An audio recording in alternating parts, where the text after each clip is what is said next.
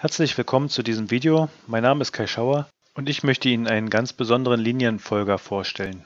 Dieses filigrane Vehikel ist im Rahmen eines studentischen Projekts entstanden. Für dieses Projekt gab es bestimmte Randbedingungen und zwar durfte es nicht mehr als 25 Euro kosten. Der Linienfolger sollte nicht schwerer als 100 Gramm werden. Für die Bauzeit standen sechs Wochen zur Verfügung neben dem normalen Studienbetrieb. Das gleiche galt natürlich auch für die Modelle der Studierenden. Im Internet kursieren zahlreiche Bauanleitungen für solche Linienfolger, doch in der Regel ist es so, dass diese einer schwarzen Linie auf weißem Grund folgen. Um den Schwierigkeitsgrad ein wenig anzuheben, wurde festgelegt, dass unsere Linienfolger einer weißen Linie auf grauem Grund folgen müssen. Der Kontrast zwischen Grau und Weiß ist ziemlich gering. Das hat gerade die Auswahl der Sensorik besonders spannend gemacht in diesem Projekt. Bei der Realisierung des hier vorgestellten Linienfolgers wurden Infrarotreflexkoppler angewandt, um die weiße Linie zu erkennen. Die Lenkung erfolgt über unterschiedliche Motordrehzahlen. Das heißt, wenn rechts langsamer läuft als links, fährt er eine Rechtskurve und wenn links langsamer läuft als rechts, fährt er eine Linkskurve. Der Antrieb erfolgt durch Leichtlauf-Solarmotoren. Die können mit 3 Volt betrieben werden nehmen entsprechend Strom auf und erzeugen ein ganz passables Drehmoment für den Antrieb. Und jetzt kam noch eine Besonderheit hinzu. Im Probelauf hat dieser Linienfolger übersteuert. Das heißt, er kam aus dem Wackeln gar nicht mehr raus. Das Wackeln wurde immer größer und er hat die weiße Linie deutlich verlassen und hat sie auch nicht wieder zurückgefunden. Und um hier eine Dämpfung einzubauen, weil das letztendlich ein Schwingkreis ist, habe ich mich an die Kinderzeit erinnert und habe wie bei einem Lenkdrachen förmlich eine Strippe hinten rangebunden und dort dann rangehangen, bis entsprechend Reibung als Dämpfung erreicht wurde. Der Reibungskoeffizient der Räder spielt auch eine große Rolle. Linoleumboden ist sehr glatt und um die 100 Gramm Gewicht voll in Reibung umzuwandeln, um das Moment auf die Rennstrecke zu übertragen, habe ich die Räder mit Schleifpapier beklebt, mit ganz schmalen Streifen, damit dieser Antrieb möglich ist. Die filigrane Bauweise und das Sparen an allen Ecken und Kanten hat es möglich gemacht, dass noch eine kleine Kamera installiert werden konnte, die während der Fahrt Aufnahmen macht. Die Stückliste für den Linienfolger ist überschaubar. Am Anfang hatte ich mich auf 3 Volt Betrieb festgelegt. Dafür konnte ich einen 3,7 Volt Lithium-Polymer-Akku verwenden. Für ein paar Bauteile sind 3,7 Volt schon zu viel, wenn sie nur für 3 Volt ausgelegt sind. Deshalb ein Spannungsregler noch, der Arduino Pro Mini, zwei Motoren, die mit 3 Volt eben arbeiten. Die LEDs müssten nicht sein. Ich habe hier Rot, Grün und Weiß. Rot für Steuerbord, Grün für Backbord und Weiß für die Ansicht von hinten verwendet. Alle Teile zusammen sind für deutlich unter 25 Euro erhältlich. Der Optokoppler funktioniert wie folgt. Eine LED sendet UV-Licht aus.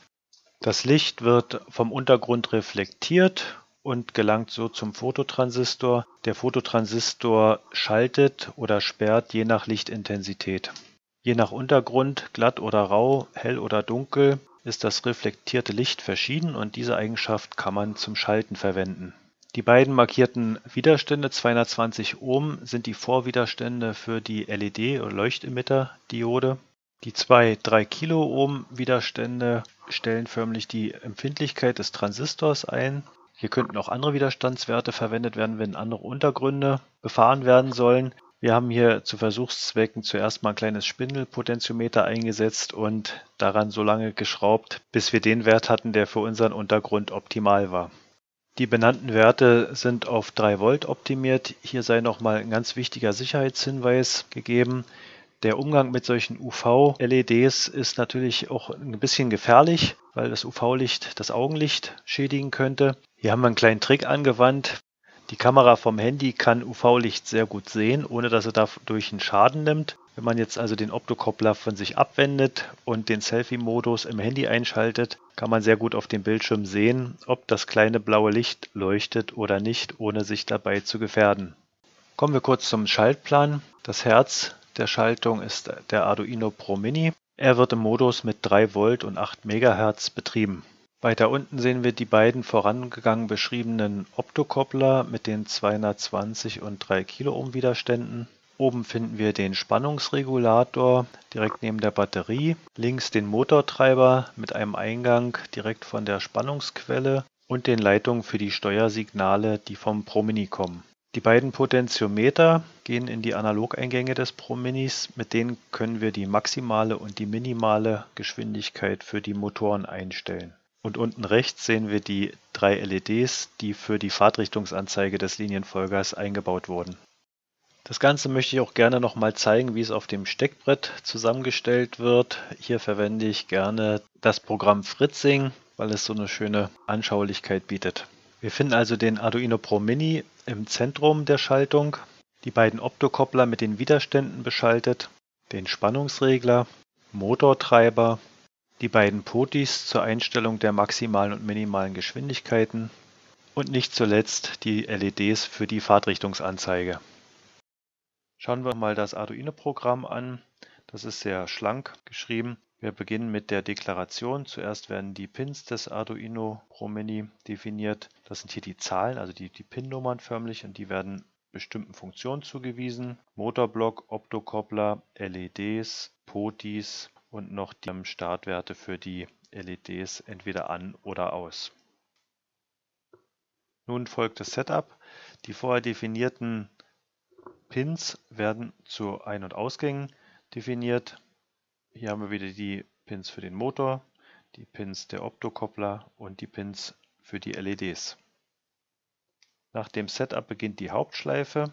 Die weiße LED wird angeschaltet, werden die Werte von den Potentiometern gelesen. Sie werden nochmal aufgespannt. Wir lesen Werte zwischen 0 bis 1024 oder 0 Volt bis 3 Volt. Die werden aufgespannt zu Werten zwischen 0, also stehen, und maximaler Geschwindigkeit 100. Dann werden die Optokoppler abgefragt. Wenn beide Optokoppler grau sehen, ist ja alles in Ordnung. Dann ist also die weiße Linie in der Mitte. Und RAN Motors definiert eine Variable, das könnte man auch in der Deklaration unterbringen, aber sie definiert, dass beide Motoren mit maximaler Geschwindigkeit fahren sollen, weil es braucht ja nicht gelenkt werden. Und die LEDs sind beide an. Es könnte natürlich sein, dass die linke, dass der linke Optokoppler grau sieht und der rechte sieht weiß. Das heißt, dass der Linienfolger muss in die Kurve fahren, um sich zurück auf die Linie zu korrigieren. Also eine Linkskurve. Hier werden wieder die LEDs geschalten, damit alle von außen sehen, ah, ich fahre jetzt rum. Und die Optokopter werden wieder neu ab ausgelesen,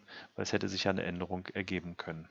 Wenn jetzt eine neue Konstellation der Optokoppler sich herausstellt, beziehungsweise die vorherige Bedingung, dass beide grau sein sollen, nicht stimmt, jetzt wird gefragt, soll ist der linke weiß und der rechte grau? Wenn ja, machen eine Rechtskurve. Motor wurde noch geschalten, die LEDs werden geschalten und die Optokoppler werden erneut abgefragt, ob sich was geändert hat. Abschließend noch die ausgelagerte Definition der Variable RAN-Motors. Weil das ein bisschen mehr Text ist und der immer wieder vorkehrt, habe ich den hier ausgelagert. Ansonsten findet sich eben diese Variable immer in jeder Abfrage wieder.